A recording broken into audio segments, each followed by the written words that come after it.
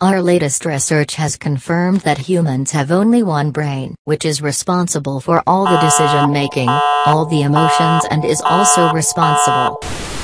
क्या आपने एक वर्ड सुना है गट फीलिंग क्या आप जानते हैं कि ह्यूमन बॉडी में दो ब्रेन होते हैं पहला वाला ब्रेन तो हम जानते हैं जो हमारे हेड में, स्कल के अंदर है। तो ये दूसरा ब्रेन कहाँ होता है? असल में ये दूसरा ब्रेन आपके इंटेस्टाइन में होता है, आपकी गट में होता है। और ये ब्रेन काफ़ी हद तक आपके मूड को कंट्रोल करता है और आपकी डिसीज़न मेकिंग पर भी असर डालता है। इसलिए आपने महसूस किया होगा, कई बार तनाव की कंडीशन में, कई बार एग्ज़ाम के समय, इंटरव्यू देते समय, वाइवा के समय पेट में तितलियाँ उड़ने लगती है। असल में हमारा सेकंड ब्रेन हमको सचेत कर रहा होता है। हमारा सेकंड ब्रेन जो है वो उस समय स्ट्रेस में होता है। इसलिए हमें पेट में तितलियाँ उड़ती हुई महसूस होती हैं। क्या आपने महसूस किया है जब हमें जमकर भूख लगती है तो कई बार हम चिड़चिड़े हो जाते हैं। क्या आपने महसूस किया है जब हम अच्छा खाना खाते हैं तो हम खुश हो जाते हैं। असल में हमारा सेकंड ब्रेन हमारी इंटेस्टाइन में है, और जो सेंट्रल नर्वस सिस्टम से इंडिपेंडेंट होकर काम करता है, काफ़ी हद तक सबकॉन्शियसली हमारे डिसीज़न को वो अफेक्ट करता है। तो वैज्ञानिक आज कहते हैं कि हमारे पास एक नहीं, बल्कि दो ब्रेन है।